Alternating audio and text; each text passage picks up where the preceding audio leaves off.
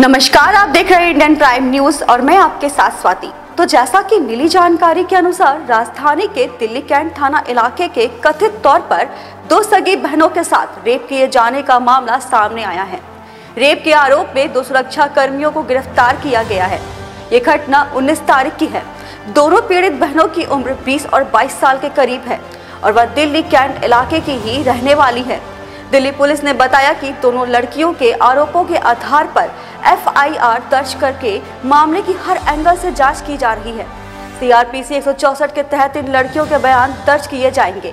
पीड़ित बहनों का आरोप है कि उन्हें डरा धमकाकर एक शमशान घाट के अंदर ले जाया गया, जहाँ उनके साथ दुष्कर्म किया गया है। शिकायत मिलने पर पुलिस ने कार्रवाई करते हुए दोनों आरोपियों को गिरफ़्तार कर लिया है।